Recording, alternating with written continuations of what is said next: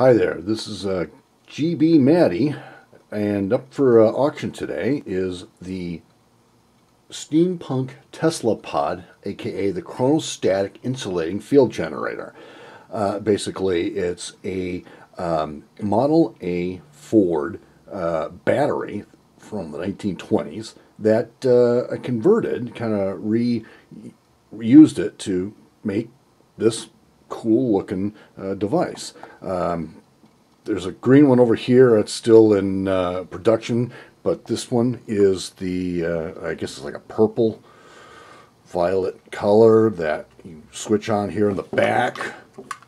It's got a little switch right back here. You can turn it off and on.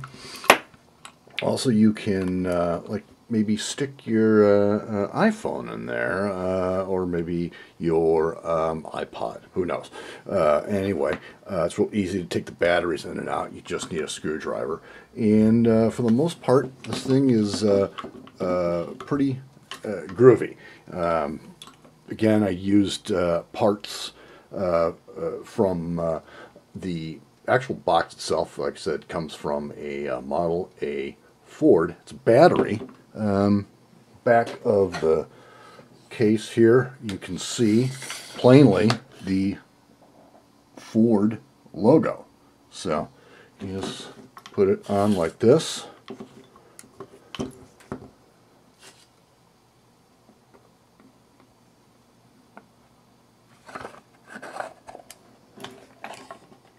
Passing down the hasp. and Voila. Tesla Pod. If you got any questions, feel free to email me. Thanks. Good luck.